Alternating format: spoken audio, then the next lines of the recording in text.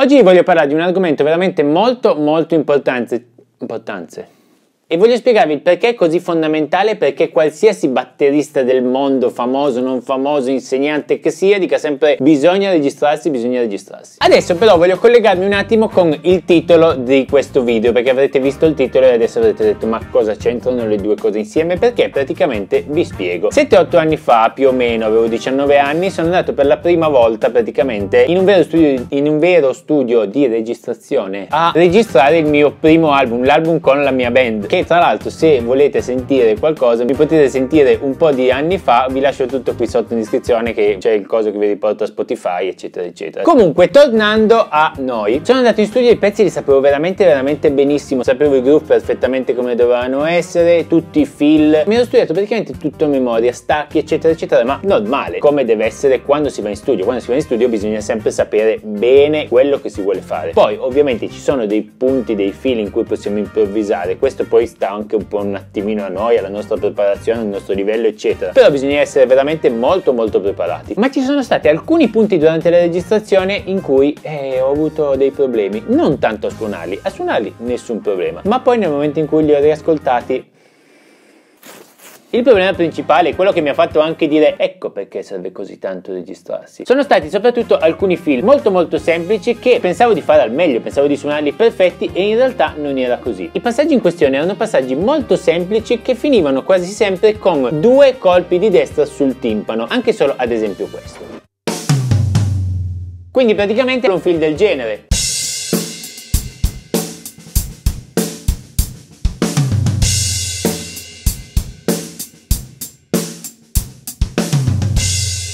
Il problema è stato proprio negli ultimi due colpi di destra con il timpano. Cosa succedeva? Praticamente io suonavo rullante e tom che erano colpi singoli, alla fine uno di destra e uno di sinistra, molto forti, mentre gli ultimi due, dato che non avevo ancora probabilmente la tecnica giusta, dato che non avevo ancora abbastanza potenza, non si sentivano questi colpi, quindi anziché essere come li ho suonati adesso, risultavano questa cosa qua.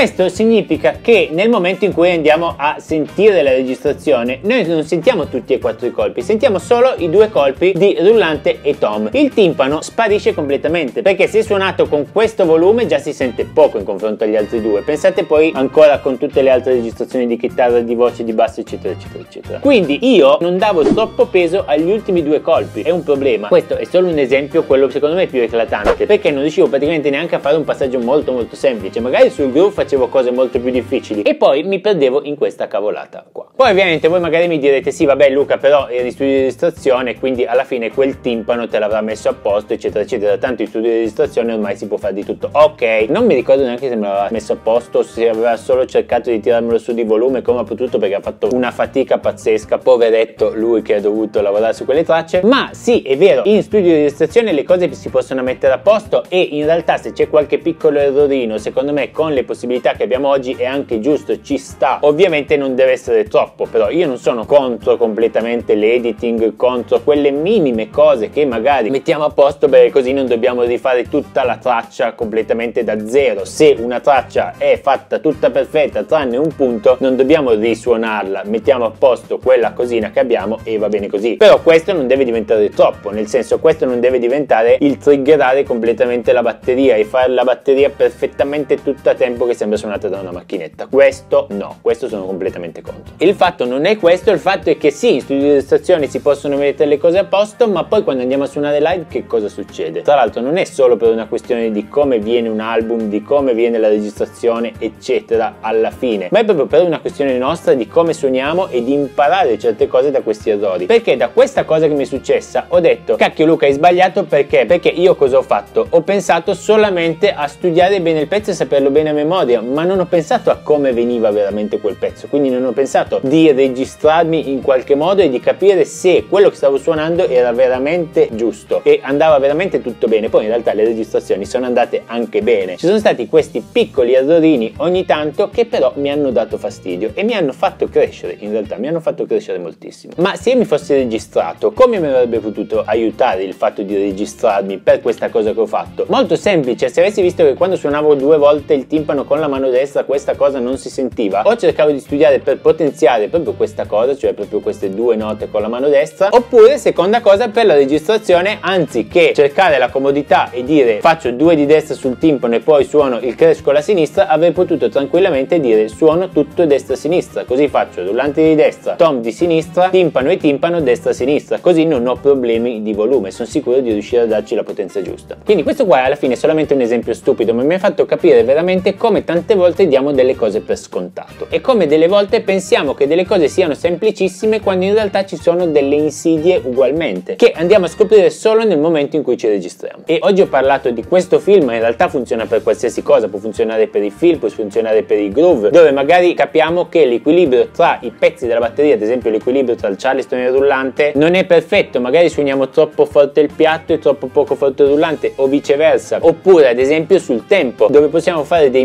minimi errori, magari a tempi molto bassi e mentre suoniamo ci sembra tutto a posto. Quando poi ci ascoltiamo è tutto fuori tempo, una roba assurda. Quindi ognuno si registra per capire quali sono le sue lacune, quali sono le cose da mettere a posto e poi ci sono sempre cose da mettere a posto, quindi non vi preoccupate, registratevi che qualcosa lo trovate. E ah ecco, una cosa importante, non è che adesso dovete andarvi a comprare la scheda audio, i super microfoni, il computer ultima generazione, no, il vostro cellulare va benissimo, registratevi con cosa avete non preoccupatevi troppo della qualità audio, perché? Perché tra l'altro se noi ci registriamo con una super qualità audio, tante volte è peggio per quello che vogliamo fare in questo momento, per capire quello che stiamo sbagliando, perché se suona tutto bene, se suona tutto bello, registratevi anche col vostro cellulare, audio schifoso, non c'è problema, più la qualità è bassa, più si sentono le cose che non vanno. Detto questo, io poso le bacchette. La finisco qua, spero di esservi stato utile come al solito, fatemelo sapere mi raccomando qui sotto nei commenti, se avete qualsiasi domanda fatemelo sapere qui sotto nei commenti, se avete qualche commento fatemelo sapere qui sotto nei commenti.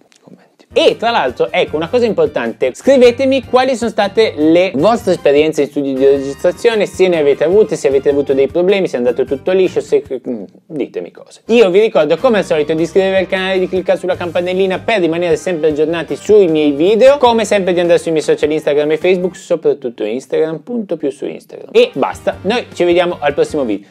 Commentate, ci vediamo, mettete un mi piace. Ciao.